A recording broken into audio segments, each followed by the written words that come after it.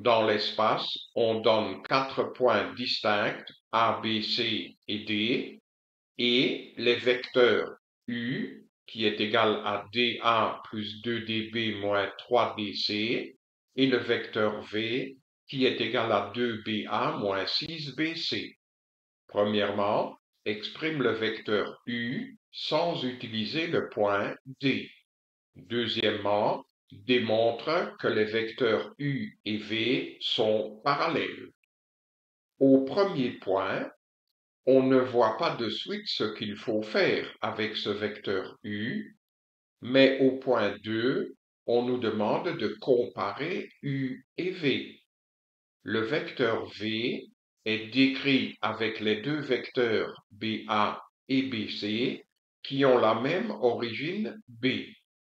Alors faisons la même chose pour le vecteur U. Écrivons ce vecteur avec des vecteurs qui ont tous comme origine B.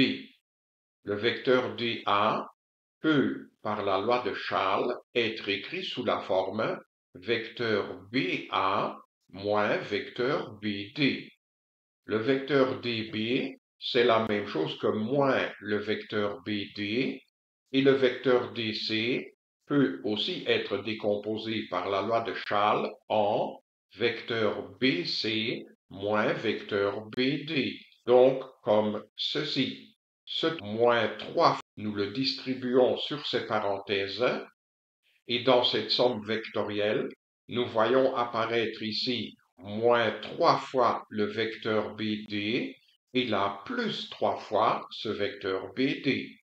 Les vecteurs soulignés ont comme somme le vecteur nul, donc ils ont disparu.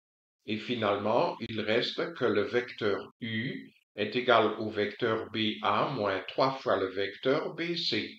Nous avons bien exprimé le vecteur U sans le point D. Passons au deuxièmement.